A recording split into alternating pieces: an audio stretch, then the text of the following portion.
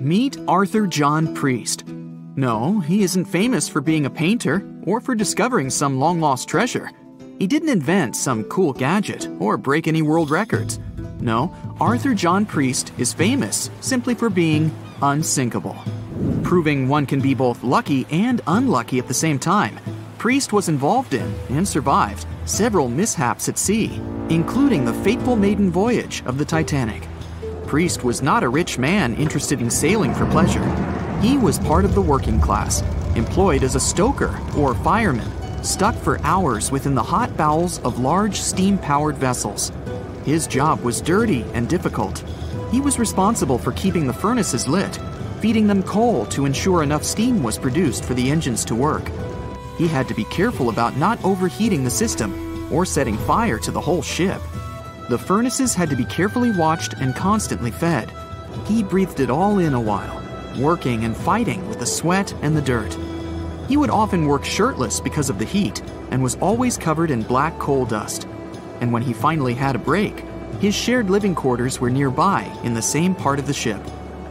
He must have been good at his job, though, because he had no trouble finding work. But wherever he went, bad luck seemed to follow. The first incident was a mild one. As a young man, Priest worked on the RMS Asturias. The passenger liner first set sail in 1907, traveling between Southampton in the UK to Buenos Aires in Argentina. At some point during its maiden voyage, the ship suffered a small collision. The damage was bad enough that the ship returned for repairs. Thankfully, there were no reports of any serious injuries. Priest, unfazed, simply went to work on another ship but his bad luck lingered on the Asturias. In 1914, the Asturias became a hospital ship, helping care for sick men and women around Europe while bringing them home to England. But in March 1917, at just around midnight, the ship was struck by a foreign object. Its hull was breached and the engine room flooded. The captain ordered everyone to abandon the ship, sending crew, patients, and health staff scrambling for the lifeboats. The vessel was still moving powering through the water because the main controls, located within the flooded engine room, could not be turned off. The captain refused to leave the ship while people were still trying to escape. He was able to aim the Asturias towards Bolt Head, where it finally hit land and couldn't sink. The remaining lifeboats were lowered, and the final survivors made it to safety. When they studied the damage on the ship later, the Asturias was declared a total write off. It might be hard to pin this particular disaster on Priest. After all, he wasn't even on the ship at the time. But it seemed that many of the ships on which he served were destined for trouble. His bad luck followed him to his next job on the RMS Olympic, a massive ocean liner. The Olympic was big. In fact, it had been designed and built as part of the fleet that included the Titanic. But with size came sacrifice. The Olympic was great at moving in one direction, but very difficult to handle when it needed to turn. It was September 1911. The Olympic was trying to alter its course. The Hawk, a smaller ship sailing nearby, didn't give the larger vessel enough room to maneuver, and the two slammed into each other. Because the Hawk was engineered to deal with potential confrontations when out at sea, its reinforced bow tore through the Olympic. Two large gashes appeared on the ocean liner's side, the propeller shaft was badly twisted, and worse, the ship began to take on water. Somehow, the Olympic made it to shore without sinking, and nobody was seriously hurt. Priest had no idea that this was just a small taste of what his future held for him. He next found employment on a brand new ship, a better ship, an unsinkable marvel that was said to be the biggest vessel to have ever been built. Yes, he was going to work on the Titanic. And what a job!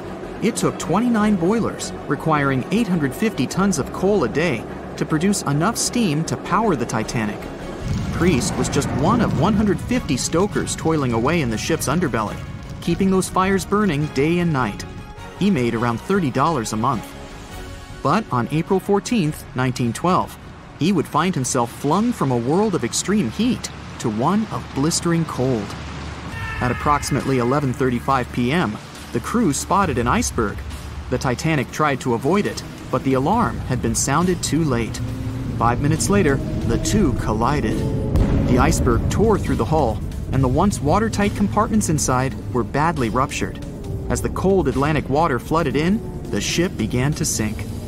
Distress signals were sent, but the closest ship, the Carpathia, was over three hours away. In the dark of night and stuck in the middle of nowhere, the crew and passengers panicked. Those who could scrambled for the lifeboats. Others jumped into the icy waters. In total, only 706 survived that terrible night. Priest, at the time of the collision, was down in the ship's lower quarters. He was on break, relaxing from a hard day of work. And as the ship went down, so did his chances of survival. He and his fellow workers were in the most dangerous position on the ship. They had to make their way through a maze of corridors and gangways, some of which were flooded, in a mad dash to the deck. And then they faced the frigid water, jumping in and desperately swimming to safety. The ocean was so cold that Priest even suffered frostbite before finding his way onto a lifeboat. He was one of only 44 stokers to survive that night. After an experience like that, most of us would never set foot on a boat again. But Priest had to work. His next job also ended in disaster. He was offered employment on the HMS Alcantara. It went down in 1916, and Priest was again one of the few to make it to safety. He was badly wounded in the process. But he kept pressing his luck, and his next job as a stoker may have felt eerily familiar. He would be working on a ship built by the same people behind both the Olympic and the Titanic. And this ship, named the Britannic, was the biggest of the three. It was also believed to be a superior vessel, fitted with new safety features after the Titanic sank. For example, it had 48 open lifeboats, 46 of which were the largest ever used on a ship before. Two of these were even motorized and equipped with special communication devices. The good news?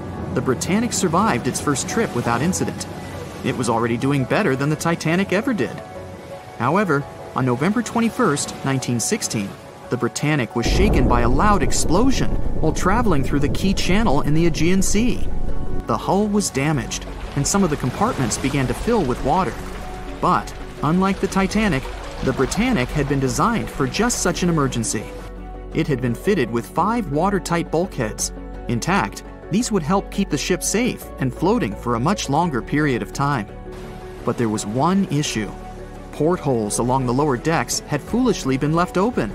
As the ship tilted, the portholes let in water, which flooded the Britannic and hastened its descent into the sea. This effectively made those watertight bulkheads useless. The ship was going down fast, much faster, in fact, than the Titanic had sunk. 35 of the lifeboats were successfully launched, saving most on board. Of the 1,066 passengers and crew, 1,036 survived. Priest, his luck intact, was one of them. And yet, he still wasn't done with a life at sea. He accepted a position as a stoker on the Donegal. It was a smaller passenger ferry that had been converted for use as a hospital boat. In April 1917, it was struck by a foreign object while fleeing an unsafe situation, and though he suffered from a head injury, Priest was again one of the survivors. It took experiencing two collisions and four sinkings before Priest was finally ready to retire. In fact, he reportedly said he only gave it up because no one wanted to sail with him. Can you blame them? He would live out the rest of his life on dry land in Southampton, England, with his wife Annie and their three sons. But Arthur John Priest would always be remembered as the unsinkable stoker. More than 25 million people boarded cruise ships globally back in 2017.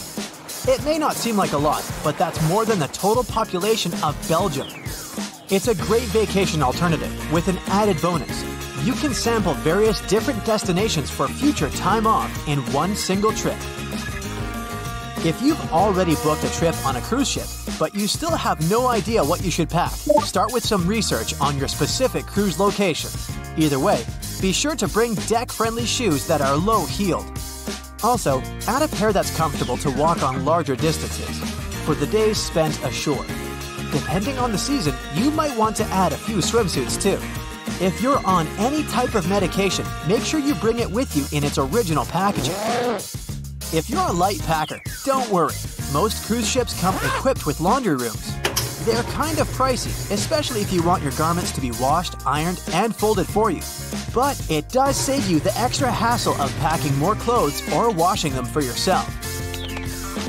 It's really important that you check in with your credit card company before boarding a ship, more so if your itinerary includes one or more foreign countries. Your credit card might get frozen if there's any unusual activity on your account. Most of these companies have algorithms that get triggered once there are charges from different countries in rapid succession. Which is exactly what you'll be doing on a cruise ship. Letting them know beforehand saves you the embarrassment of having your card declined at some fancy restaurant. To make sure you get the best room, before booking it, check out the ship's deck plan. It should be available on their website. If it's peace and tranquility you're looking for, don't go for the rooms directly above or below any of the ship's entertainment points. Also, if you have a history of getting seasick, try to skip the rooms that are available at the front of the ship. Rather, go for those located in the middle of the ship on a lower deck. You'll feel less movement. If it's your first time going on a cruise, you might be surprised to know that some cabin rooms don't have windows. Before making a reservation, make sure to check out all the amenities of the room you intend to book. Most cruise liners add a bunch of pictures from the common rooms on their reservation pages, and it might be a bit confusing as to what you're getting exactly for that specific price point. Also, some rooms on board are quite small too. If you don't like to sleep in small spaces, you might want to upgrade to a larger room, even if it's a bit pricier. You can always split the cost with a friend if they want to join you on the cruise. With the help of modern technology, even if a specific location doesn't have windows, it doesn't mean you can't watch the waves. How, you might ask? Fancier cruise ships feature a secret added bonus. In the areas with no access to sunlight, specialists have built virtual balconies. These high tech screens work by showing you what's going on outside in real time. They have an added benefit too. In case of bad weather, guests can still have a feel of the outdoors without the wind or rain ruining their hair or their outfit. It may not be the real deal, but it still beats getting claustrophobic on board. Planning on going on a budget cruise? It might not be such a bad idea, especially if you're on the lookout for last minute upgrades. You might even end up vacationing like a millionaire without having to spend money like one. These upgrades sometimes include things like a private balcony in your room, maybe some spa services, or even better prices for high end meals. If they aren't all booked by the time people board the ship, they might be open for the rest of the passengers for way better prices than initially listed. There might be hidden freebies on board if you pay close attention. Things like complimentary pastries on board late in the morning or a late night cup of tea on the house might be some of the things offered to guests. You only need to ask. You might want to check out what other tourists are doing. Some people with more experience cruising can offer pretty great tips and tricks. Don't be afraid to start a conversation if you see someone getting something for free. Some cruise ships do go all the way on the fancy dial. They even have exclusive areas designed for guests staying in expensive suites. Most of the time, they're located at the top of the ship. On one particular cruise, these types of guests have designated staff members called Royal Genies, which are similar to butlers. They can cater to just a few cabins. Since the cruise line wants to divert other guests from asking them various questions, which will take time away from their assigned guests, the genies do not wear a name tag in public areas. Most common areas of cruise ships do require travelers to follow a dress code, but if you do your research in advance, you might find that some areas are more relaxed when it comes to what people need to wear. Most cruise ships require people to adhere to smart attire, which means pants with a collared shirt for men, or blouses and skirts, dresses, or stylish pants for the ladies. As for the travel destinations, be sure to research the ports you're about to visit in advance. You'll know what to wear, what the weather will be, and if you need to pack anything else. Like an umbrella or a beach towel. Stops on cruises only last for a few hours in most cases, so you'll want to get the most out of them. If that specific location includes museums or art galleries you want to add to your checklist, be sure to book in advance so you don't waste time waiting in lines. Some cruise ships even provide their guests with private tours of the ports they're about to visit. Do make sure to book them in advance if this is something you might be interested in, as the list gets pretty full quite fast. Independent tours are a bit more private, you can spend time with your tour guide and even ask more questions. Always remember to put your phone in airplane mode while on board. Most cruise ship horror stories involve cruising newbies that ended up paying thousands of dollars in cell phone charges while on ships, just because they forgot to turn it off.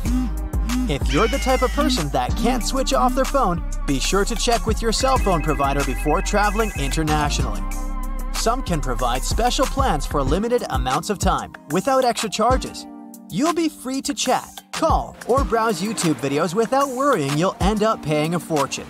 Most cruise ships also provide you with complimentary Wi Fi or Wi Fi packages that can be purchased in advance, which are way more affordable.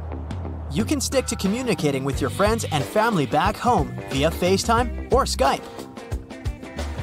People that have heard about the Titanic tragedy will always wonder what might happen if something goes wrong while on board. Let's take lifeboats, for instance.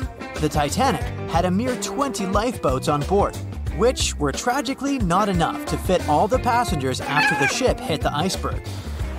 Some fancy cruise ships these days have an even lower number of lifeboats, anywhere from 15 to 18. Sounds strange? Well, not really given the fact that each lifeboat can accommodate up to 370 people. Even the largest ships, which have an estimated capacity of 8,000 people if fully booked, including tourists and staff, are safe in case of an emergency.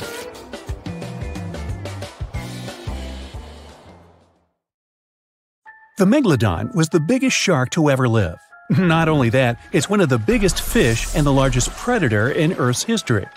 They've been known to reach lengths of up to a whopping 70 feet. That's over three times longer than the biggest great white shark on record. The females have also been found to be around twice the size of the males. The megalodon could swallow a small car without it even touching its teeth, if cars had been around that. Its teeth could grow to over 7 inches long. It looks like we're going to need a bigger boat, and best make it steel plated, as this shark can easily gnaw its way through ships. The underwater terror could bite a ship clean in half, with the highest bite force ever calculated for any animal, living or extinct. The force of its ferocious bite was up to 40,000 pounds. That's around 108,000 times the strength of a human's and 10 times the force of a modern crocodile's bite. Its chomp is so strong that it makes the T Rex's bite look about as powerful as my granny's after she's taken her dentures out. In fact, the Meg was so big and powerful that it had no natural predators. It was the uncrowned king of the seas, swimming freely from ocean to ocean. This cosmopolitan creature was found all over the world, from America to Europe and Australia to Japan, assuming there were countries back then. Meg fossils have been found on every continent except Antarctica. Everybody skips Antarctica. Science tells us that the megalodon went extinct over 3.6 million years ago, but could they still be alive at the deepest depths of the ocean? Only around 80% of the ocean has been explored, and its deepest point, the Mariana Trench, is over 7 miles down, so who knows what's lurking at the bottom. If you did manage to make it down, it is unlikely that you'll run into a Meg, though. The sharks, like us, preferred warmer coastal waters. Deep ocean living would be too cold for the beasts, and food would be scarce. Their entire bodies would also have to evolve to avoid being squished by the enormous water pressure down there. It's unlikely they're still around, but not impossible. Some good news, if you do run into one, is that the shark is pretty unlikely to eat you. You are way too small a meal for the megalodon, even if you have a couple of friends with you. This guy eats whales that are over 50 feet long. If you're having a beach party, though, it's a different story. In a beach full of swimmers, the shark very well might creep up, scooping several humans into its giant mouth without even chewing. But wait, let's rewind. How does the shark take down a 50 foot whale? It first bites off its fins, making the whale unable to swim away. It then casually munches it down piece by piece.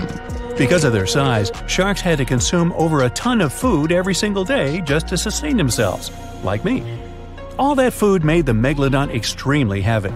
They range from anywhere between 50 to over 100 tons. For context, that's around the same as 7 to 16 adult male African elephants. To fit all this food in, their jaws had to open pretty wide. A megalodon's jaw could span 9 by 11 feet wide. That's easily big enough to swallow two adult humans side by side. The fearsome name Megalodon comes from two Greek words, mega meaning big and odont meaning tooth. So combined, they mean what? Big tooth. And it certainly lives up to its name. Just one of its chompers is the same size as a human head. It had 276 humongous teeth in total across five terrifying rows. In all of history, only a couple of saber-toothed cats and the T-Rex had consistently bigger teeth. Now that's a showdown I'd like to watch. The megalodon vanished millions of years ago, leaving only huge teeth to be found by modern archaeologists. They literally disappeared with very few traces left. Scientists believe that over time, sea levels dropped and the ocean temperatures went down rapidly. Over a third of all marine life was wiped out as the oceans cooled, and a number of animals at the bottom of the food chain plummeted. This had a catastrophic effect on the hungry predators at the top. Sorry, guys. It became way too cold for these sun loving sharks, too, which made it difficult for them to reproduce since they gave birth in warm waters. The megalodon is usually described as a sort of giant great white shark, but this is just a common myth. In fact, the ancestors of today's great white existed at the same time as the Meg. But they weren't best buddies, and were even in competition with each other. The great white shark was a better hunter, using its smaller size and agility to snap up the Meg's prey quickly. They were also known to eat Meg pups, who were only half their size. This didn't help the whole extinction thing. Even infant megalodons were huge, coming in at just under 7 feet. While a great white was no match for an adult Meg in a head to head fight, they sure weren't scared of stealing their food. This only left the bigger fish and whales for the Meg, but its food supplies began to run out as the whales swam to the cooler new seas. The whales adapted to prefer the colder temperatures, leaving our friend the Meg behind. The megalodons either starved or were frozen into extinction by the Ice Age.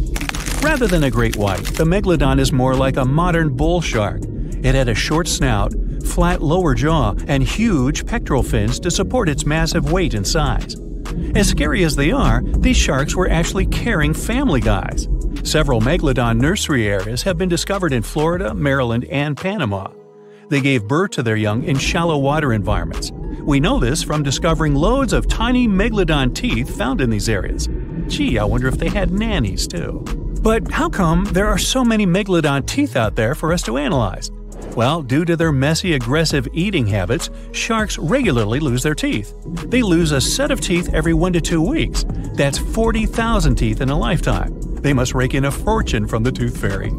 Because of this, their teeth were continuously raining down to the ocean floor. Luckily for us, they're also the hardest part of a shark's skeleton, which is why so many teeth have survived and become fossilized. It's fair to say that the first discoveries of the Meg's teeth confused people. Early discoverers thought the Meg's teeth were petrified tongues of ancient serpent creatures. They even used to call them tongue stones. It's also a common myth that the megalodon was around at the same time as the dinosaurs, although this would have been pretty cool. The dinosaurs were wiped out around 66 million years ago, but the megalodons came much later. The oldest Meg fossil is only around 23 million years old, but it's tricky to pinpoint the exact date.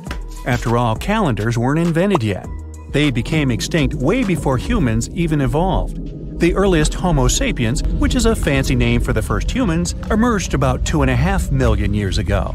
But what if the megalodon shark didn't go extinct? Whale populations have dropped drastically since these guys were last around, so there'd be way fewer whales for them to chomp down on. Whales have also gotten a lot smarter and learned new defensive moves, making them way harder to take down. It's estimated that they ate around 12 tons of food each day. If they were still around and eating that much, they'd be forced to eat smaller fish, and there'd be barely enough big fish for us humans to survive on. The naughty megalodons would also be able to track fishing boats and steal the fish that they worked hard to collect. It's safe to say we'd see a lot less fish in the aisles of your neighborhood supermarket. As our ocean temperatures are heating up again, the sharks would also thrive and reproduce faster than ever. There'd be more and more of these giant eating machines in the water, reducing our fish supply even more. It would also cause massive problems for cargo ships and cruising vessels. Imagine coming into contact with one of these bad boys while you're sunbathing on the deck. Even beachgoers would be hard hit.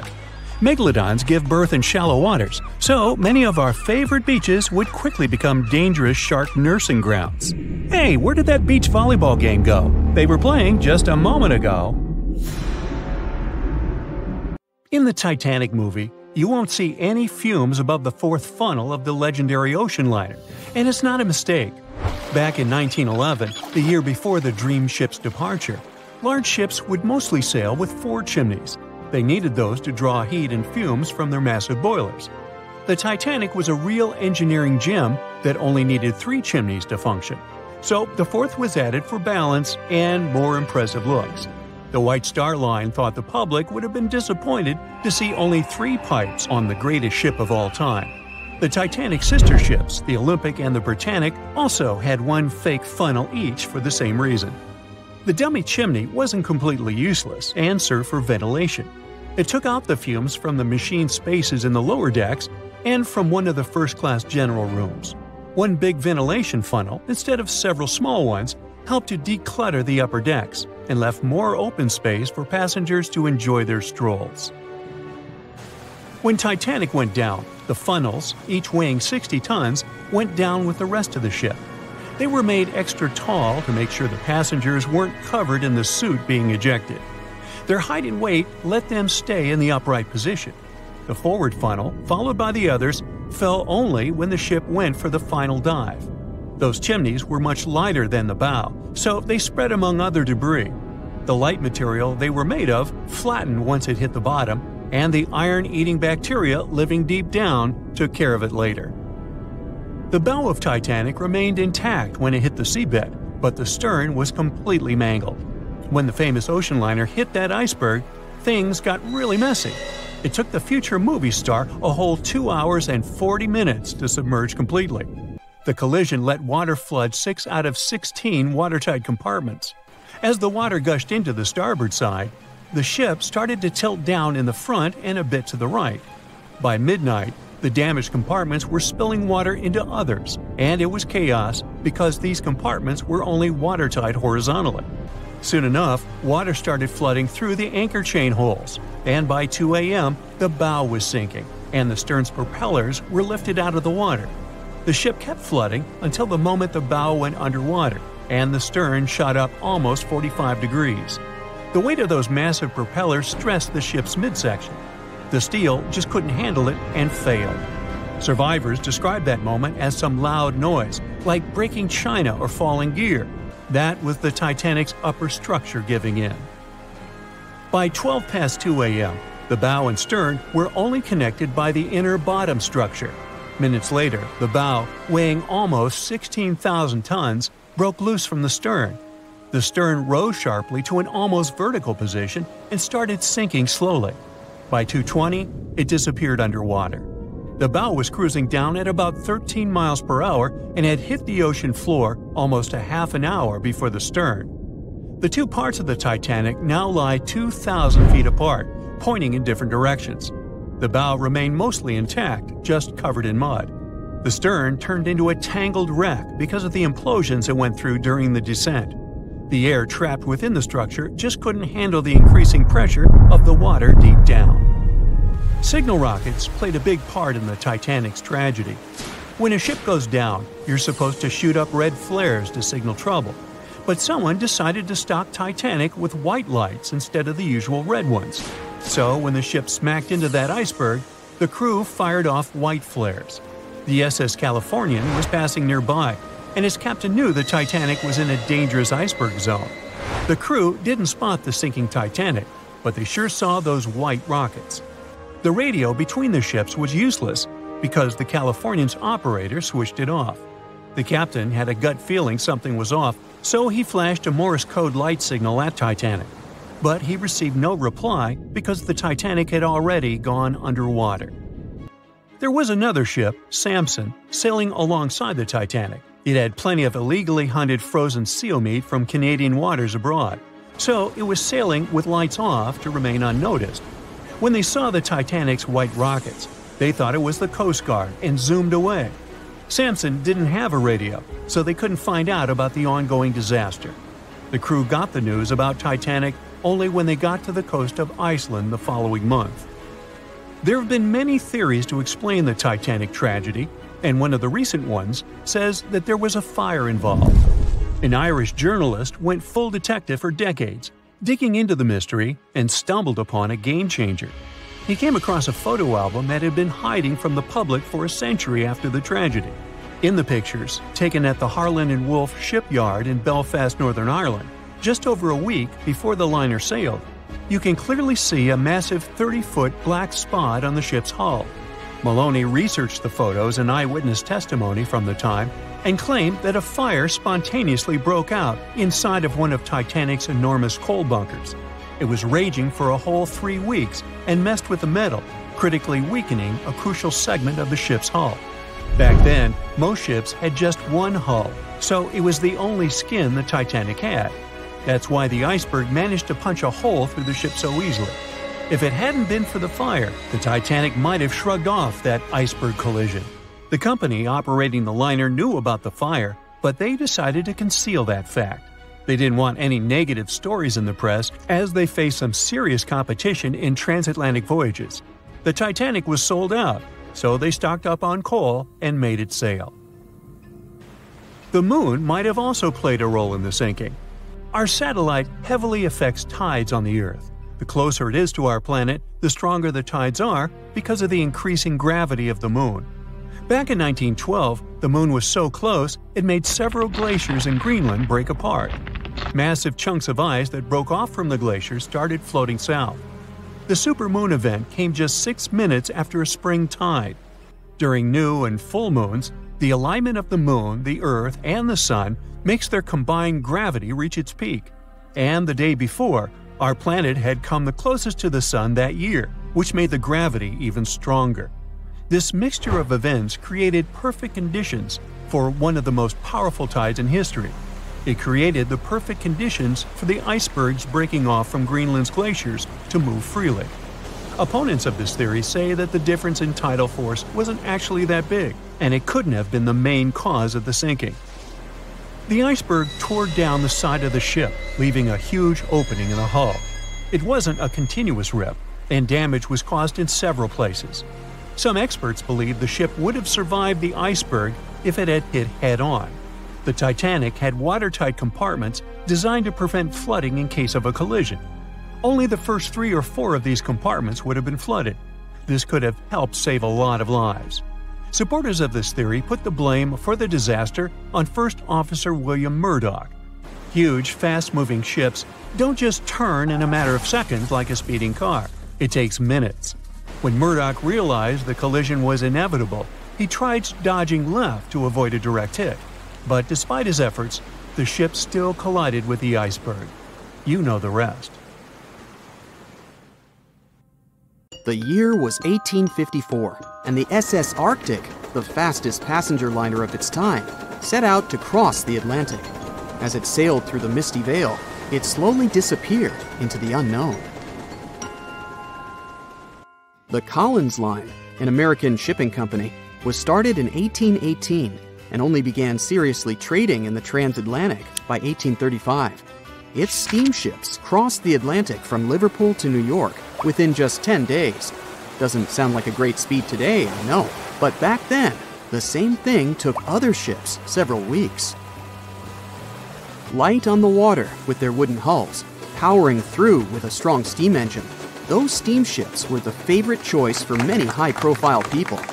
What could go wrong with such an advanced ship, they thought?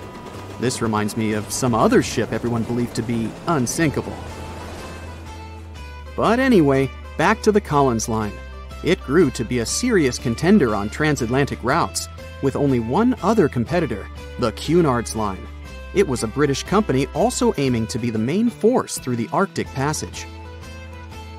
In 1835, the company received a new ship that traveled to Liverpool and came back to New York with the largest cargo ever at that time. From then, the Collins line was steadily growing. It seemed like there would only be future successes for it. Unfortunately, their lavish ships became costly to run with the amount of coal used. Massive power, along with weak wooden hulls, meant they needed many repairs after each voyage. So, every trip ended up being expensive. But since the ships were safe and had a great reputation, people were willing to pay the price, and the company was definitely not in crisis. They had achieved something no one had managed to do before them. Like I told you, their ships crossed the Atlantic in a whopping 10 days, and Edward Collins, the owner, was very determined to maintain the pace. Their five ships easily outran the Cunard's line of only three. With this great praise, it provided more attention. Though the Cunard's ships were slower with their iron hulls, they believed there was still profit, regardless of how slowly they sailed. Among Collins' ships, the Arctic, the third of them to be launched, was the largest, reaching 284 feet long, with two side lever steam engines, each with 1,000 horsepower. The paddle wheels made 16 revolutions a minute when at full speed. At the time of its launch, the press called it the most stupendous vessel ever constructed in the United States. But glamour and fame couldn't avoid what would come next. On the 27th of September, the Arctic was on its journey from Liverpool to New York, continuing a speed pace through the thick fog. It's possible that by that moment, after four years of record breaking trips, the crew became overconfident with their sailing and the ship. Going only 50 miles from Newfoundland, they carelessly continued through the fog with no radio contact, sonar, or any other form of identifying objects, equipped only with Morse code. A smaller ship, the SS Vesta, which operated as a fishing vessel, often worked around Newfoundland. It was passing through the same path as the Arctic and crashed into its side. Shocked by the collision, the captain of the Arctic offered help to the much smaller Vesta, but it was soon clear that the damage that seemed minor on the Arctic was far worse. Beneath the waterline, a hole was letting water into the hull, the cost of the much faster wooden hull now seemed less valuable. They steered toward land, trying to plug the holes, but they weren't doing so well, and the seawater continued to pour in, filling up higher and pushing the ship down. And finally, once the engine room was full, it put out the boilers, taking away the massive power the Arctic was once legendary for. They moved slowly until coming to a complete stop. The ship continued to sink, and the order was to abandon it. At the time, maritime law allowed for the Arctic to carry only six lifeboats, only capable of saving 180 people. The crew and some of the passengers managed to push their way aboard and took most of the seats on those boats. Things were pretty wild, and everyone forgot about their manners, not letting the ladies and the youngest ones board first. It took four hours for the Arctic to sink, 150 crew and 250 passengers were on board. Those that weren't able to find a lifeboat made a desperate attempt to build their own rafts from parts of the ship. Two days later, only three boats made it safely to the shore. The other three were never found. Believe it or not, the rescue party also saved some people that had been clinging to the wreckage for two days. Unlike the crew, the captain went down with the Arctic, but amazingly survived. He would be only one of 85 people that made it out of the 400 on board. When the news arrived two weeks later, the public responded with great sadness to the losses. Great anger soon followed towards the poor safety measures in the crew. The press published demands to change the laws for more lifeboats. It only made sense to have enough for every person on board a ship. But they ignored those requests. This neglect would lead to more disasters in the future. Enough lifeboats would only come into maritime law some 60 years later, after the disaster of the Titanic. Edward Collins' wife and two children were also aboard the ship and didn't return. He was heartbroken, but didn't stop running his business. the Collins Line still had a reputation to uphold the biggest, fastest, and most luxurious on the Atlantic. Edward Collins would now build an even better ship than any other. It was named the Adriatic, and it was the largest ship in the world, 354 feet long. With two alternating steam engines that had never been built of this size, these steam engines at the time were at the height of engineering, though today you can only see them in models and toys. With the new addition of two masts, the Adriatic would also be able to sail if needed. Luckily, they made some lessons from the disaster of the Arctic. But before their new ship, the Adriatic, was built, another disaster had occurred. The sister ship of the Arctic had also sunk. They believe this second ship was desperate to stay in front of the Cunard's line and hit an iceberg somewhere during the race. This weird contest took the lives of 141 people. The desperation of Collins and his weakly built hulls pushed the company towards bankruptcy in 1858.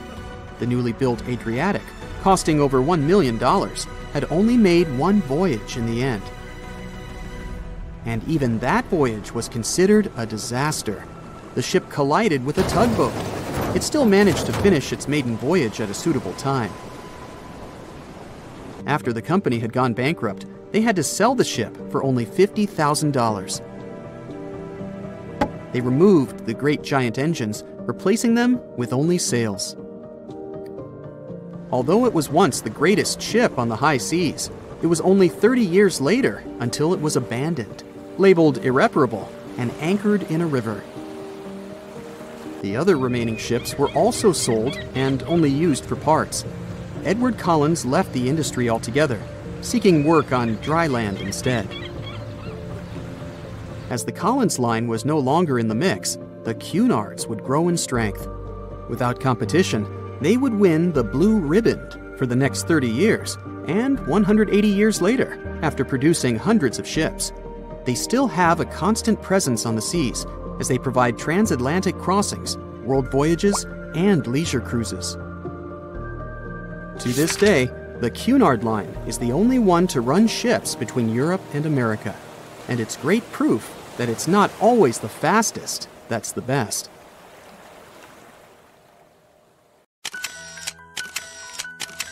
At the beginning of the 20th century, somewhere off the coast of West Africa, a German steamship was leaving the port. Suddenly, the weather got worse and the vessel entered a thick fog. The sailors ran aground on a sandbank close to the shore. Luckily, no one was hurt, and they were even able to save their precious cargo. But the ship was stuck in the sand for good. And it was not alone there. Nearly the entire length of the western coast of Namibia is called Skeleton Coast. If the name sounds scary, that's because it is. This 976 mile long beach line is among the most dangerous places on Earth. The local Bushman tribes believe that their supreme deity made this land when it was angry. The Portuguese were the first Europeans to set foot in Namibia in the 15th century. And yep, they didn't like Skeleton Coast either. Portuguese explorers thought this land presented the gates to the underworld. This is the place where the Namib Desert meets the Atlantic Ocean. It might be dangerous, but it's actually beautiful. Plus, it's a UNESCO World Heritage Site. If Skeleton Coast had a PR manager, they would quit on the first day on the job. The area is not exactly tourist friendly because of its geography and history. Beneath the sand and the waves, there is a secret ocean currently lurking for unsuspecting sailors. It's called Benguela Current. It flows towards the north along the coast of southern Africa this part of the Atlantic is rich in marine life, but the current's land neighbor isn't that happy with the deal. This arid climate created the Namib Desert, one of the driest regions on Earth. And that marine life I just mentioned? It's sharks. 11 species of them to be exact. And yes, the great white decides to pop by once in a while. So far, we've got a desert landscape, strong currents, and sharks. Not a place for a beachside resort, definitely. But if someone ends up on Skeleton Coast, will they know they're in danger? Don't worry, they will. The beach is littered with wrecks of all sizes and shapes. If you remember that German ship I mentioned in the very beginning, its massive and rusted stern is now sticking out from the desert sand. There are some 500 wrecks in total scattered along the coast, and it's a mixed crowd, from Portuguese galleons centuries old to ships that ran ashore here in the 21st century. A modern fishing ship called Zela India managed to slip from its tow rope in 2008 and ended up on Skeleton Coast. Okay, it didn't escape on its own, it had some help from the elements. But it's better to be a tourist attraction on a beach than to be broken up for scrap. That's where the trawler was originally going, poor thing. Skeleton Coast's most famous inhabitant, to call it such a place, is the wreck of the Dunedin Star. The British cargo liner ran aground here in 1942. The massive rescue operation that followed reveals why it's so dangerous for sailors to end up here the rescuers managed to save all of the crew and passengers, but at a heavy price. An aircraft and a tugboat were lost in the process. It took the last of the rescuers a full two months to return home to Cape Town. Why, you might wonder? One look at the map of the region reveals the reason. It's an endless sea of yellow, which is the sand. There are so few roads here, so Skeleton Coast is hard to reach by land. There are also legal obstacles. You need a special permit to drive into the area. But the skeletons in the name of the area don't only refer to ships, they also stand for animal bones. Most of these belong to whales and seals. Many animals have adapted to the area, so lions and hyenas roam the coastline in search of a meal. Yeah, now there are hungry lions as well, as if those sharks weren't enough. Other animals with a temporary residence on Skeleton Coast include elephants, cheetahs, leopards, and giraffes. In 1971, the Namibian authorities established a national park here, but except for surfers, after an adrenaline rush, they don't get many visitors. You can understand why. The Namib Desert is the oldest desert in the world, and it's not very tourist friendly either. Those who travel to the region should pack sunscreen and a warm winter jacket. A weird combo, right? Well, not so much when you think that during the day, temperatures soar over 110 degrees Fahrenheit. At night, the air temperature drops below freezing. What a climate roller coaster! And that's not the final danger. Yep, there's more. Remember how that German ship got lost in thick fog? Yeah, it wasn't a one off event. Because of the region's climate, fog shows up frequently. Sailors should cover their ears now, but this fog is actually good for wildlife. This is their only source of water in the Namib Desert. Reptiles and mammals have adapted to the harsh climate. They use as little water as possible. Shifting sands, thick fog, strong currents, lions, and sharks. Not the stuff you would put in a tourist booklet, but Skeleton Coast isn't the only beach on Earth you wouldn't want to spend your vacation on. I will take you to Cape Tribulation in Australia. The area covers some 48 square miles in the northwestern part of the continent. And no, the area is not as dry as Skeleton Coast. It's part of the Daintree rainforest. You could say that here, it is the rainforest, not the desert that meets the ocean. The beach at Cape Tribulation is straight from a postcard. But looks can be deceiving. Hmm, Australia? Probably sharks. No, Crocodiles are out here to get you if you decide to go for a dip in the sea. There are saltwater crocodiles that the locals call salties. Well, that's a cute nickname for such a dangerous reptile. And it's not just that. The wildlife seems to have a beef with visitors. From October to June, the waters around Cape Tribulation are full of box jellyfish. Their venom affects the human cardiovascular system. When touched by a jellyfish out at sea, swimmers won't have enough time to reach land for help. Vinegar helps neutralize the sting, so you might want to keep a spare bottle in your luggage. Crocodiles and jellyfish sound dangerous, but there's one more animal you should look after. It's the wild boar. It might sound funny, but you won't laugh when you're being chased by one of these across the beach. 21 million wild boars live in Australia. They're mostly active at night, making it even more dangerous if they charge at you. The best defense is running in circles. Wild boars can't cut corners well. That's probably why we don't see many of them taking up careers as race drivers. Cape Tribulation has one last danger installed for you, and it's not an animal. Out here, even the trees are plotting against visitors. The stinging tree got its name for a reason. If you try to pick one of its beautiful red berries, it'll fight back. Its prickles are like tiny glass shards. The less than pleasant effect on your skin will last for a month. Then there is this wait a while bush. Who keeps naming them like this? This long vine has spikes that grab hold and just don't let go. They are so strong they can pull a human off a horse. You'll have to wait for someone to come by and save you from this thorny grabber. If you are about to cross this Australian beach from the vacation list, hold on for a second. Tourism is booming here. The local authorities have restricted access to all of the danger zones. Visitors go swimming in dreamy water holes that are surrounded by lush vegetation. There are even ropes to swing from. Now, that's a beach you can finally relax. It was the biggest ship ever built in its time, and it was supposed to be unsinkable. But within days of steaming out on its first voyage in 1912, the Titanic was gone beneath the relentless waves of the North Atlantic Ocean. And of its more than 2,200 passengers and crew, only 706 survived that dreadful night. Would a smaller ship have fared any better in the same situation?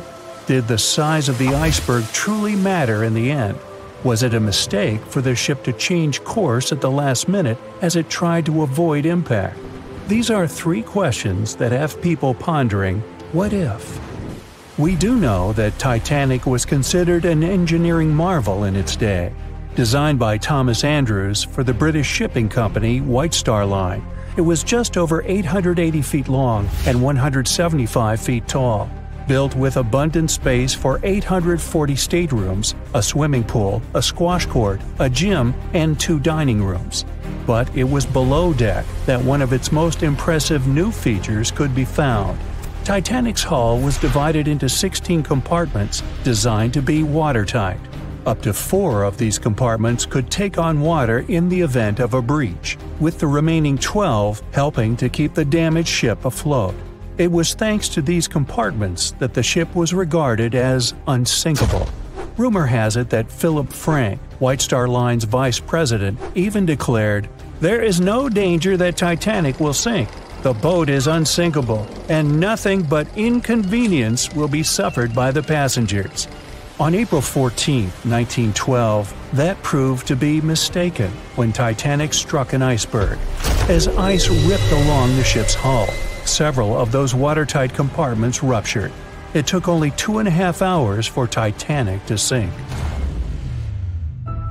Did the size of the iceberg that hit Titanic seal its fate? Would a bigger or smaller iceberg have made any difference? Icebergs come in a wide variety of shapes and sizes. They are pieces of ice that have broken away from glaciers or ice shelves in the Arctic and Antarctic and are now wandering across the ocean until they eventually melt. One of the tallest icebergs ever found would have easily dwarfed Titanic. Discovered in 1957, it was 550 feet high. That's close to the height of the Washington Monument. Imagine ramming into something that big. Smaller icebergs, though, can turn out just as dangerous. Some are the size of houses and called bergy bits. Others, closer to the size of a car, are called growlers. These can be much harder for ships and boats to locate, making them more difficult to avoid. And though smaller, they can produce a lot of damage when hit. It's also critical to recall that icebergs are always bigger than they seem, with the majority of their mass lurking below the ocean surface. In fact, over 80% of an iceberg's volume is underwater. Most of its sharp, jagged edges cannot be seen. Roam too close, and you risk damaging your ship's hull. Because Titanic had little notice of its impending doom, a smaller iceberg, struck at the same angle, could still have been enough to bring that mighty ship down. Now, it's possible that had the iceberg been larger, it would have been spotted sooner.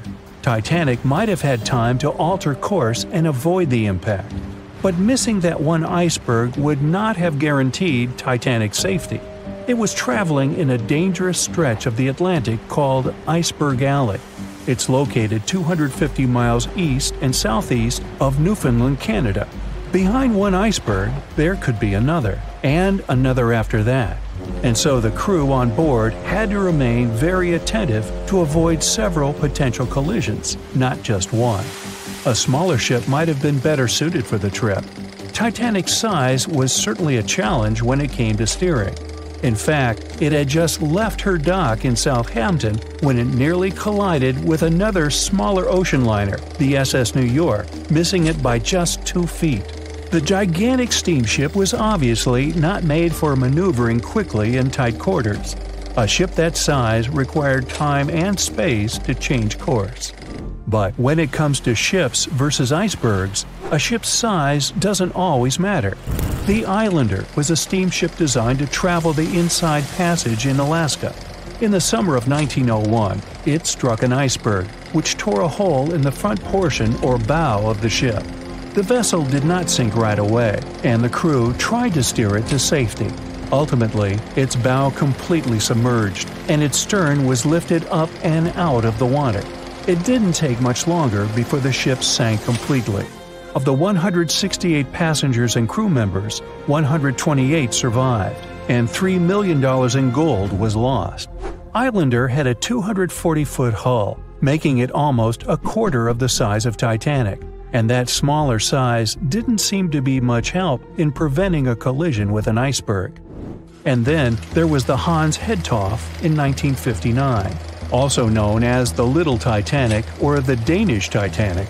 It was referred to as the safest ship afloat. It was 272 feet long, with 95 people on board. Much like the real Titanic, the Hans Hedtofte was specifically engineered to handle most of what the sea could throw its way. Along with its double steel bottom, it also had an armored bow and seven watertight compartments. How could such a ship sink? But it could, and it did. It was on its first voyage, returning to Copenhagen, when it ran into trouble. On January 30th, it hit an iceberg.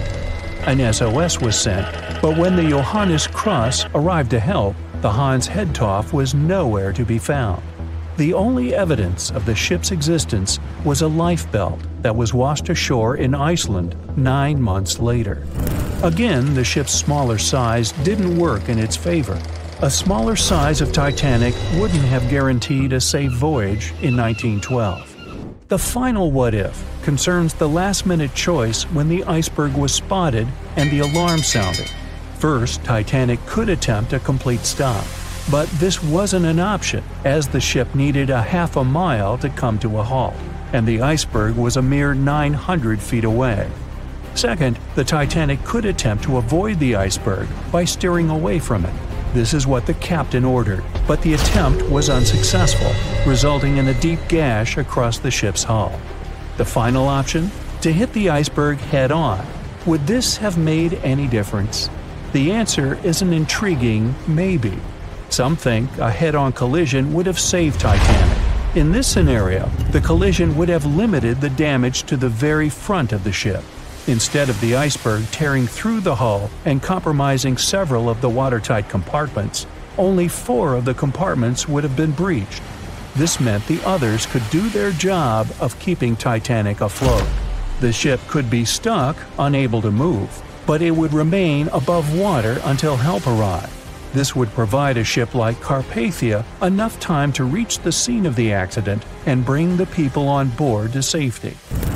One of the Titanic's designers, Edward Wilding, made a similar claim during an inquiry into the sinking. He argued that most people would have survived a head on crash, and that Titanic itself would not have sunk. Others disagree, though. First, the special bulkheads on Titanic were designed specifically to protect the ship against collisions with other vessels, not with icebergs. These compartments would crumple upon impact, absorbing some of the force while the other ship absorbed the rest. Though the damage would still be extensive, the remaining bulkheads would keep the ship afloat. But an iceberg does not have the same flex in a collision as you would experience with another ship. Most of the force would be absorbed by Titanic, resulting in greater damage to the ship. Even worse, the impact would be carried through the full length of the ship. Rivets would burst, seams would tear, the compartments would quickly flood, and the ship would sink even faster, resulting in fewer survivors. In any case, as with most what ifs, we'll never really know the answer. As tragic as Titanic's first and last voyage was, it did result in changes that helped make venturing out to sea much safer. Findings from hearings on the disaster led to the creation of the International Ice Patrol, or ICC, in 1914, an organization that tracks icebergs in the Atlantic and Arctic Oceans to ensure vessels in the area can avoid them. In the US and Britain, ships were obligated to carry enough lifeboats to accommodate every person aboard. Regular lifeboat drills were made mandatory. And finally, the bulkheads on ships were made higher to keep water out, and bottoms were stretched to create double hulls, helping make the compartments truly waterproof. There's no denying that Titanic was a terrible tragedy, but the lessons learned from that night to remember has helped prevent many more. April 14, 1912. The dark night was filled with horrible sounds of a giant metal vessel breaking into two the largest ship of that time, collided with an iceberg that was on its way. The Titanic, one of the biggest stories of the 20th century that people still talk about. The starboard side of the giant vessel brushed up against the iceberg. It was 11:40 p.m. when things started going wrong. This iceberg caused enough damage for at least 5 watertight compartments in the hull to start filling with water. The crew immediately began a brief investigation to see if they could do anything and fix things. They had no one to rely on, all alone in the darkness of the cold night, far away from the land. The North Atlantic Ocean, around 400 miles south of Newfoundland, Canada. They needed time to figure out how to bring people to safety. They had some time, true, but not enough. If you watched the movie, you know the ship didn't plunge immediately after the icy doom had happened. The whole process lasted a good 2 hours and 40 minutes. But the situation was hard. There were 2,200 people to take care of, including crew and passengers, and things happening on the ship were chaotic. The chief designer, Thomas Andrews, soon realized they wouldn't be able to stay afloat by midnight, the entire crew had begun preparing the lifeboats for launch. They had 20 boats with space for only 1,178 people, which was just a bit more than 50% of the people on board. The order was to get women and children to safety first. Crewmen were there to row and guide the boats. The scene over the next two hours gradually started escalating.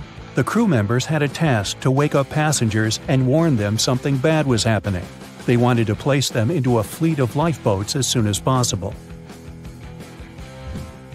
At 12:15 a.m., some crew members sent out a distress signal. A steamship called Frankfurt was among the first ones that received the message and responded, but they were about 170 nautical miles away. Some other ships also got the message and offered their assistance, but sadly, they were too far away as well. At 12:20 a.m., the Cunard liner Carpathia got a distress signal from the Titanic and changed its course right away. They were 58 miles away at the time, and it would take them more than 3 hours to get there. 20 minutes later, the crew was lowering the first lifeboat. It was carrying only 27 passengers, although it had room for 65. Many of the lifeboats that were launched first were well below capacity. Crew members were worried, thinking the davits wouldn't be able to hold a fully loaded lifeboat. And in the beginning, many passengers were just too afraid to leave the ship. They still thought Titanic was unsinkable and couldn't imagine the scenario that was going to happen one to two hours later. The crew was firing the first of eight distress rockets. Unsuccessful. No one was close enough to help. By 1:20 a.m., they lowered 10 lifeboats. Number 8 had only 28 people in it. One of the passengers on the number 10 was nine week old Millvina Dean. She would later become the last survivor who lived until 2009 and turned 97. It was 2 a.m. already. Three of the collapsible boats were the only lifeboats that remained on the ship. The bow of the vessel had sunk low and had tipped far under the surface. People around it could now clearly see stern propellers above the water. Crew members were lowering collapsible lifeboat D from the roof of the officers' quarters with over 20 passengers in it. As the ship's bow went under, the water was washing collapsible A from the deck. Those 20 people were struggling because their boat was partly filled with water. As crew members were trying to release collapsible B, it fell. Before they righted it, the water swept it off the ship. 30 passengers still managed to find safety on the overturned lifeboat. At 2:17 a.m., the ship's wireless operator decided to transmit one last distress call. A minute later, the light on the ship finally went out. Titanic and all left on board plunged into darkness. The bow continued to sink, and the stern was rising higher above the surface, which placed great strain on the midsection. Horrible sounds were filling the night. Titanic, this massive, legendary ship so many people placed their hopes in and were excited about, broke into two between the third and fourth funnels. Reports would speculate it took about six minutes for the bow section to reach the ocean bottom. The stern settled back in the water before it rose again into a vertical position. It remained in this situation until it finally disappeared into the ocean. At 2:20 a.m., the stern apparently retained air inside and water pressure crushed it as it went down. The stern landed about 2,000 feet away from the bow. People consider the Titanic the fastest ship in the world. They thought it was unsinkable because four of its compartments could be flooded and that still wouldn't cause a critical loss of buoyancy. Its life was problematic since its beginning. While the ship was leaving port, it moved within a couple of feet of the steamer New York.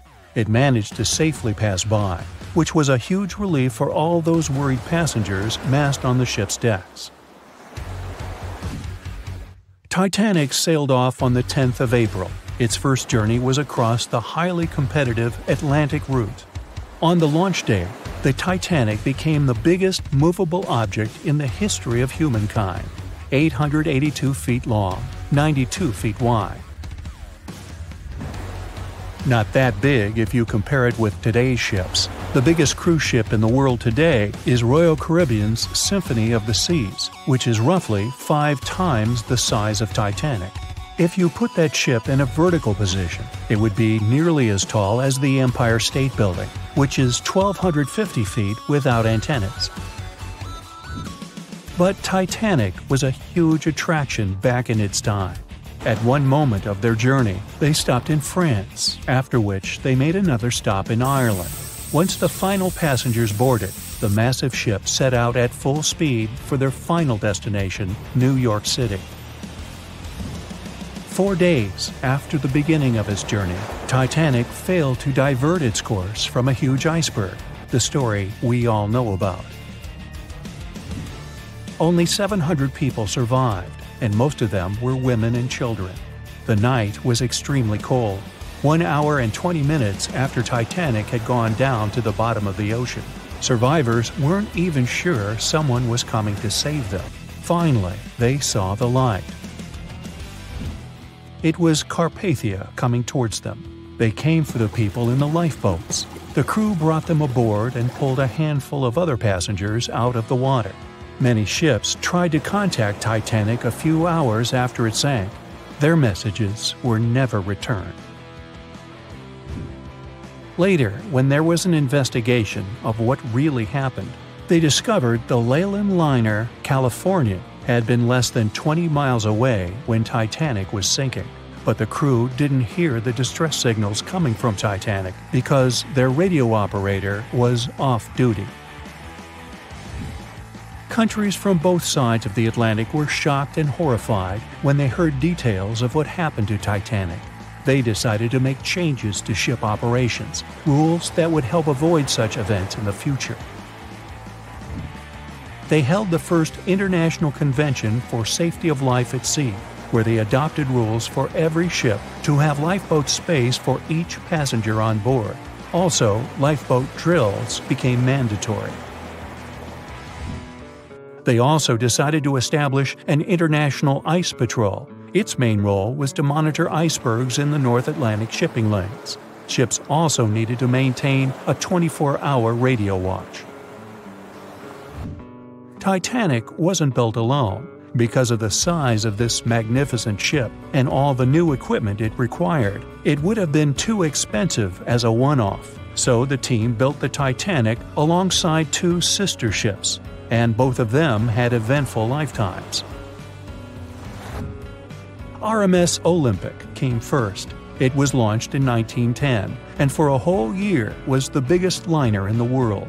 The Britannic was another sister ship that sailed for a while before it too ended down on the ocean bottom. But only Titanic became a legend and one of the most fascinating stories of modern history. John watched on in disbelief as he drifted away on a piece of wood. In the freezing waters of the Arctic, slowly drifting away. John looked upon the vessel he had worked and lived on as it raised its enormous bow high into the sky, then broke in half, causing a sound that only a crack of lightning could replicate. Distraught and dumbstruck, believing that he, and he alone, knew the dark truth behind the demise of the unsinkable ship, the Titanic. Five days earlier, as the Titanic set sail on its maiden voyage, John worked hard alongside his mates in the coal bunker, stocking up the coal to feed the Titanic's mighty furnace. They had stocked and stored more than John had ever witnessed on any other ship he'd worked on. But this was the Titanic, the grandest ship to have ever sailed the seas. On the Titanic, there could never be too much coal. As they left Belfast and pushed toward Southampton, there was a large bang below decks that went unnoticed. The furnace was roaring and the turbines were spinning, pushing the Titanic forward at a quickened pace. The crew cheered as the vessel moved forward, unaware of the loud, concerning noise. Arriving in Southampton, Greg came aboard, amongst hundreds of other passengers. With 13 years at sea, his vast experience included the role as a quartermaster on six previous ships. Ready for a new challenge aboard the greatest vessel ever made, he was looking forward to this next challenge of his career. Greg came with a wealth of experience, especially with sailing through the Arctic. His role was vital within the crew, understanding the seas around the North Pole. He would be a key lookout as they set to cross the perilous path of the Iceberg Alley. Greg had some concerns regarding the voyage. The Earth's orbit was remarkably close to the Sun and the Moon, causing higher tides. This would make icebergs more prominent, drifting them further away and towards the route of the Titanic as they journeyed to New York. Assessing the lookout tower and inspecting the available gear, Greg found no binoculars. This made him concerned, but the sailors just laughed at Greg. If the deck is short on ice cubes, we'll be sure to plow right through a berg to resupply. A sailor laughed. Greg didn't share this sentiment. Eager to find out why they had been left short handed on equipment, since he had such a vital role on the ship, Greg inquired further. Sadly, the officer with the keys to the binocular supply cupboard had been removed from the crew at the last minute. Greg couldn't believe something of this importance had been overlooked. For such a mighty ship with so many people aboard and crossing in a particularly perilous path, this just didn't make sense. But, not wanting to be fined for breaking into the ship's property, Greg let it slide, hoping that they wouldn't need the binoculars in the end. Ultimately, if there were icebergs expected, a warning call would be made to the captain, informing of any concerns. Little did Greg know that a warning had been received, notifying of the dangers that awaited. But the telegram didn't provide the required prefix, which would have ensured direct delivery to the captain. So, the critical warning was just overlooked. John and his crew below decks prepared for departure, stoking the engines. He noticed an essence of thick exhaust, far too heavy than what would be expected from the furnaces. The crew searched throughout the lower decks. Following a thorough search, they managed to locate the cause of the exhaust. It was an ignited pile of coal within a coal bunker.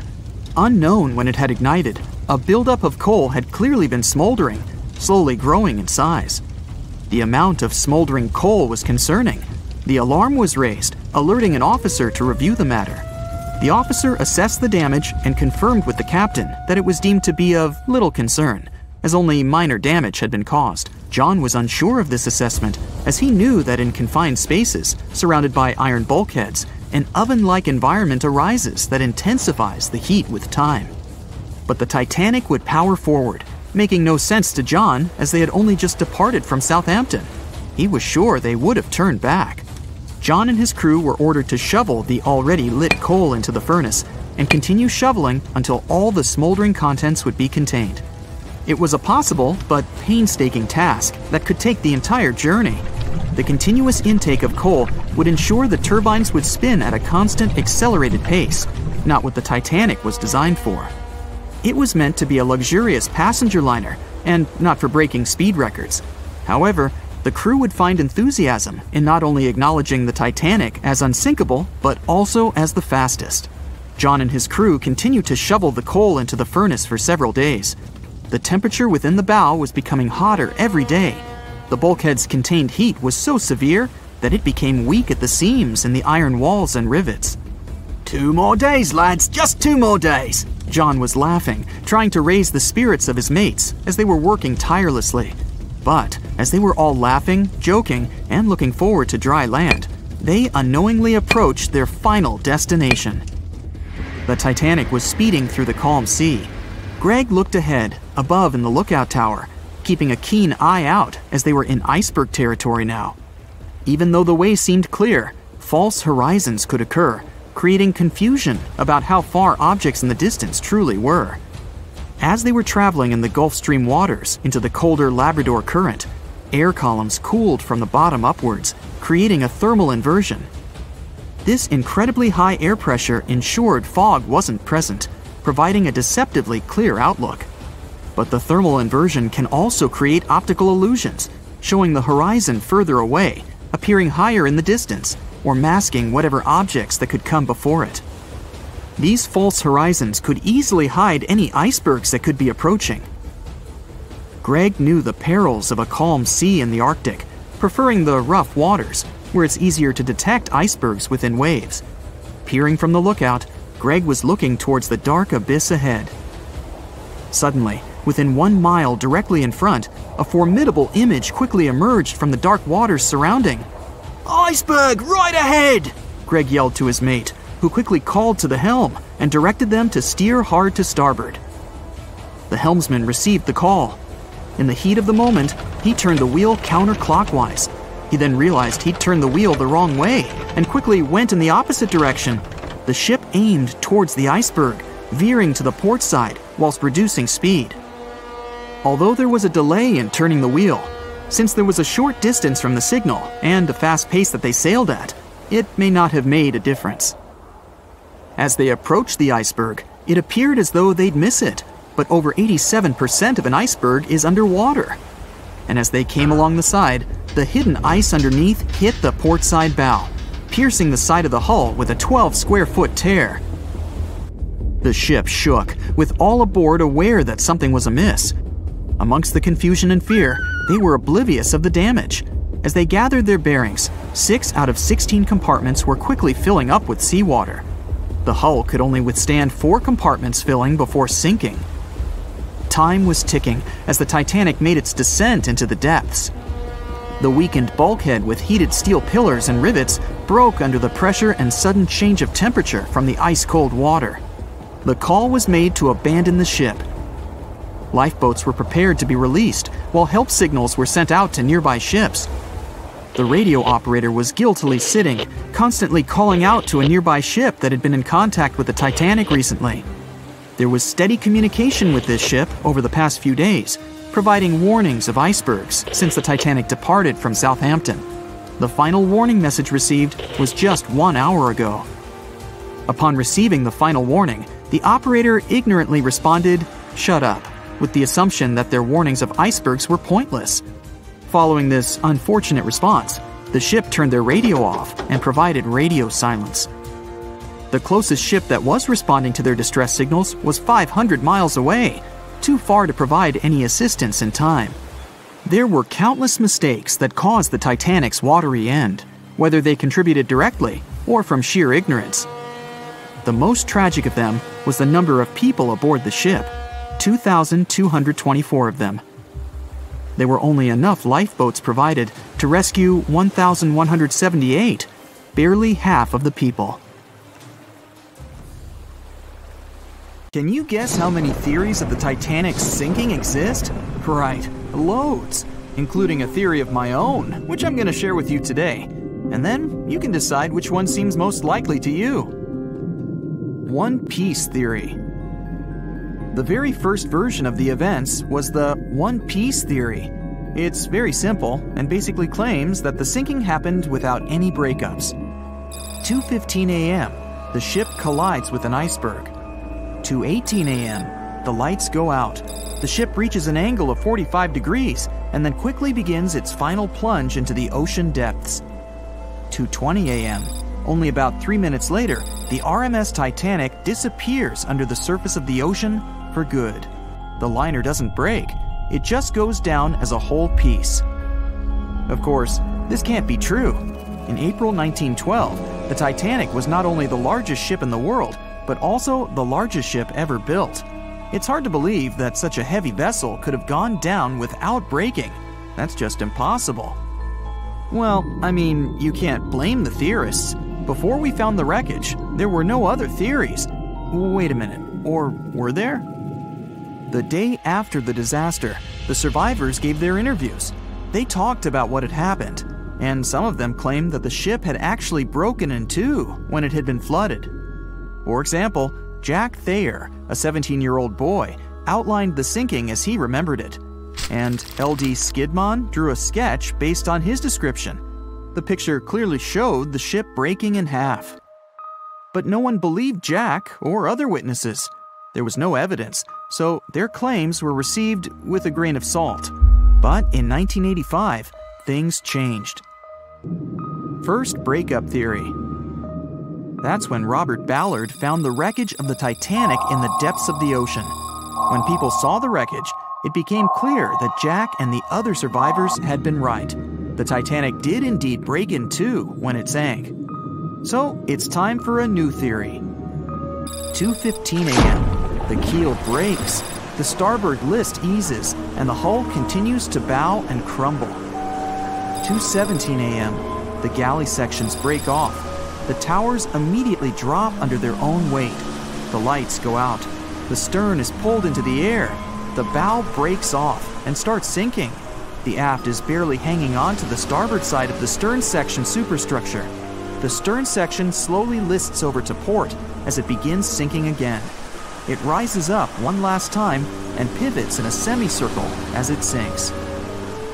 It all sounds pretty convincing, right? But people began to find plot holes in this theory. For example, the Titanic couldn't have held together until it reached such a high angle. The breakup would have had to begin much earlier. This only meant there was still a vast field for research and speculations. So people started to come up with their own possible scenarios. How about we look first at the ones no one likes? V break and Aaron 1912 V break. According to the first breakup theory, the Titanic reached a high angle, and the weight of its unsupported stern caused it to crack from the top down. But it's physically impossible. So, are there any other ideas? In 2006, Roger Long, a naval architect, decided to research a so called V theory. 2:17 a.m. The breakup begins at a shallow angle, perhaps as little as 11 degrees. The upper structure fails and starts to crack. At this moment, only its double bottom is holding the Titanic together, but it starts to bend under the strain too, failing the ship. Water is pouring through the crack. It increases the weight in between the two sections, bending the Titanic the other way, and pulling it into shape somewhat resemblant to the letter V. The upper decks get mangled and bent together. The bow heads for the bottom, and the stern is the last to sink. This theory has since been disproven many times, though. Roger Long believed it because the broken edges of the upper decks in the Titanic's bow section were all mangled and crushed. However, we have learned that it happened because of the so called hydraulic downburst, the force of the water crashing into the deck as the Titanic hit the ocean floor. Another V break theory states that the bow had risen out of the water after the break. This theory was mainly peddled by one former Titanic enthusiast. But not only has this theory been proved to be physically impossible due to the bow's incredible mass, it was also inspired by incorrect information. Remember Jack Thayer? Well, it was based on his sketch and the words of a couple of passengers. But the truth is, none of them had ever seen the Titanic break down like this. Jack himself even stated in an interview that the sketch was completely out of context to what he had actually seen. It was drawn by a passenger on the Carpathia, the ship that received the Titanic's distress signal and came to its aid. It couldn't be used as evidence. Now that we know this, let's move on to the theories that most people believe in. James Cameron's banana peel theory. Who hasn't seen the legendary movie about the Titanic, right? It became the leader of the 70th Academy Awards ceremony in the number of nominations and awards, and deservedly so. But did you know that James Cameron had been interested in the Titanic for many years and studied the ship's history? His books and research are very detailed, and he even came up with his own version of the events. It's called the banana split theory, and this is actually what you could see in the movie. Here's how it goes. The Titanic reaches a 23 degree angle and fractures down to the keel. The double bottom acts as a hinge as the stern falls down. When the double bottom fails, the bow and the stern separate. The stern lists to port, standing vertically, and then begins to go underwater. This theory is the most scientifically accurate one, along with Roy Mengot's theory. Wait, who's Roy Mengot? Mengot theory. Roy Mengot was an engineer who came up with the most plausible theory for the time being. 2:17 a.m. The lights go out on the Titanic. At this moment, the ship is at an angle of 20 to 23 degrees. Suddenly, the vessel snaps in two just around the third funnel. It causes the stern to settle into the water. The keel fails first. The draft and lower hull are crushed and break apart. Water surges into the bow and stern of the ship through the huge cracks, causing the bow section to sink beneath the waves. The stern rises up to the angle of 70 to 90 degrees, and then it sinks too. This theory seems to make the most sense, but it's quite controversial. The survivors who saw the breakup stated that the stern had settled back with the bow completely missing. Mengot's theory, however, contradicts that statement while James Cameron's scenario takes this into account. Are you thinking what I'm thinking? The truth must be somewhere in the middle. My version. Now, as promised, I'll provide you with my version of the events. Well, it's not really my theory, more like a combination of Roy Mengot's and James Cameron's ones.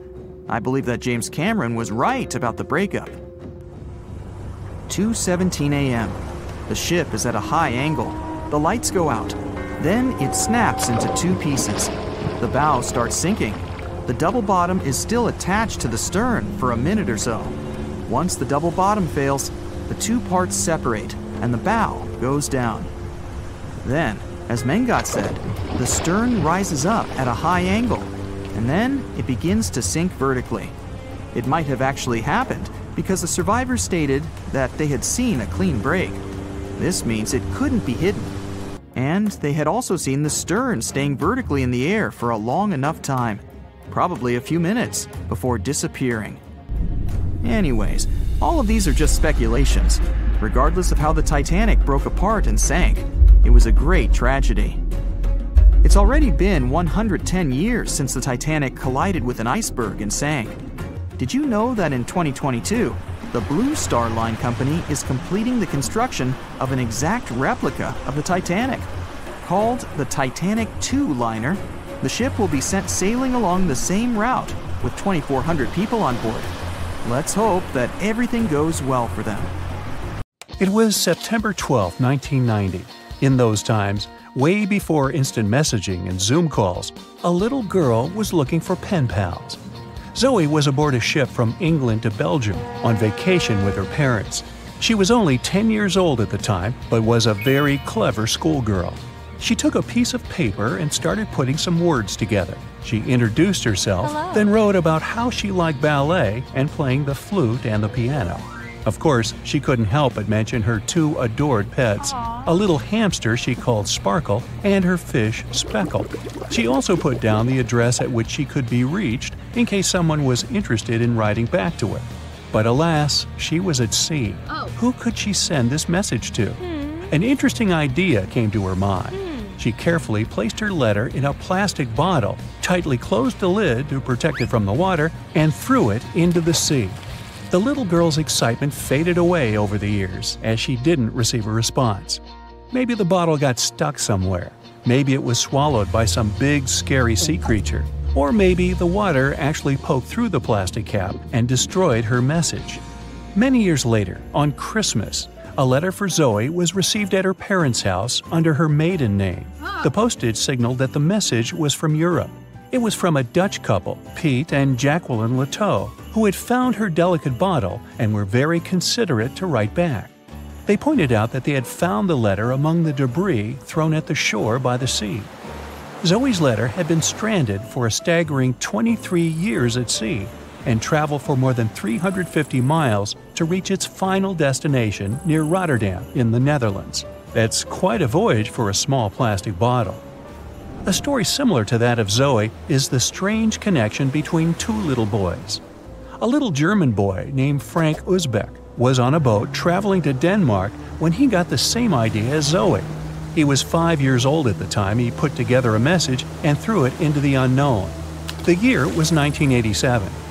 He got his response years later when he was 29.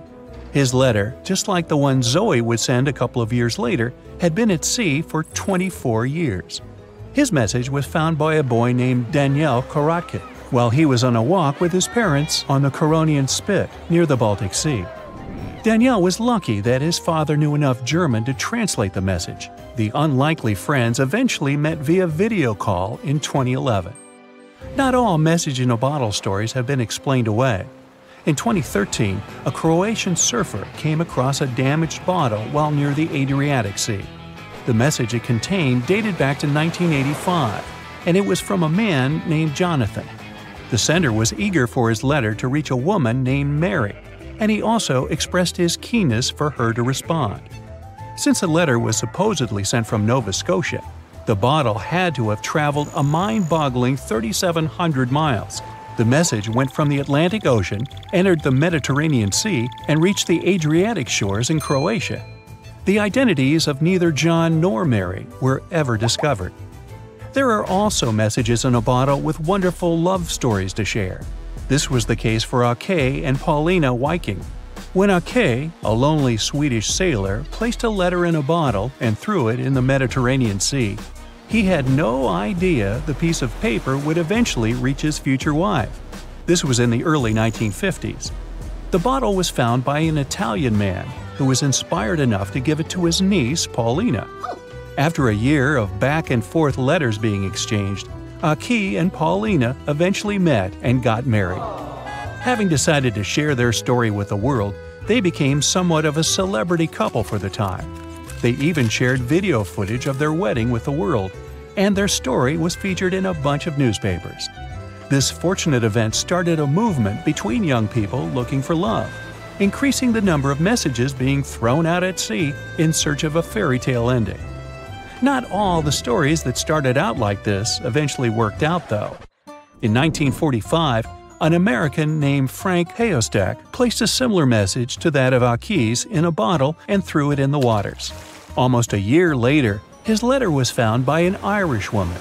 Her name was Brenda O'Sullivan. Their years of correspondence soon caught the attention of the media at the time. but their friendship never flourished because of the added pressure.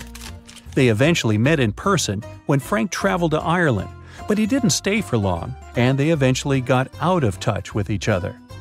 After Titanic met its strange ending, many bottles containing secret messages started to surface.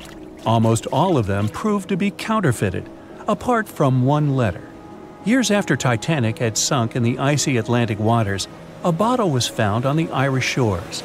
It was supposedly from a man named Jeremiah Burke, and to this day, it is considered to be the only genuine message in a bottle originating from Titanic.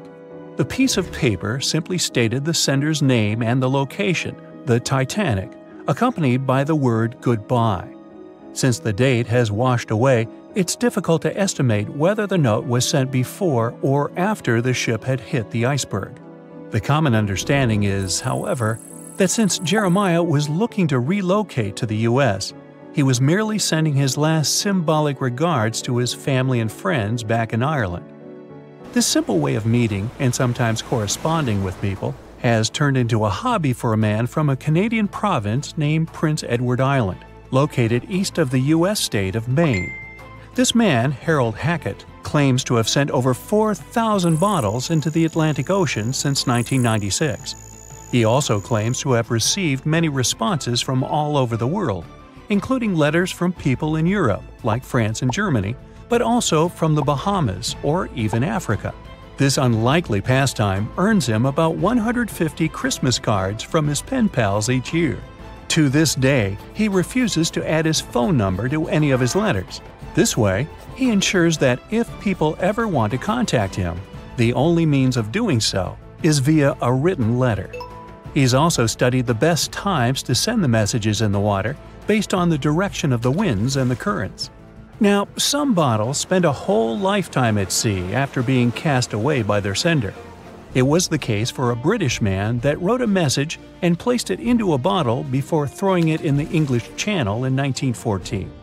His name was Thomas Hughes, and he wanted to direct the message to his wife but was polite enough to write a letter to whoever got their hands on the bottle first, asking them to redirect the piece of paper accordingly.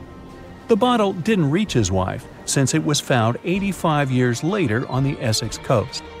The man that stumbled upon the bottle was kind enough to reach out to the family and place the message in possession of Thomas's daughter. And 85 years isn't the longest time for a small bottle to be cruising the waves. A scientist named Hunter Brown was studying currents in the North Sea when this idea came to his mind. He placed the same message in almost 2,000 bottles and requested the unlikely recipient that they write back with the location of their discovery. He thought this method would help him better understand the layout of the North Sea currents. A bottle was found about 11 miles from its original departing location after 97 years. To this day, more than 300 of the original bottles relating to Hunter Brown's project eventually made it to the shore. Not all of the messages that were found in bottles got replied to via physical letters. Oliver van threw a bottle containing a letter on the English coast while he was on vacation with his family. He was 14 at the time. 33 years later, a woman reached out on Facebook claiming she had gotten his message and tracked him down through his social media profile. Hmm. At first, he hardly remembered having placed the letter in the bottle, but he eventually recounted the events, even the fact that he sealed the bottle with candle wax to make sure it was leak proof. And then there's Christina Aguilera and her bottle. No, wait, hers is about a genie in a bottle. Okay, never mind.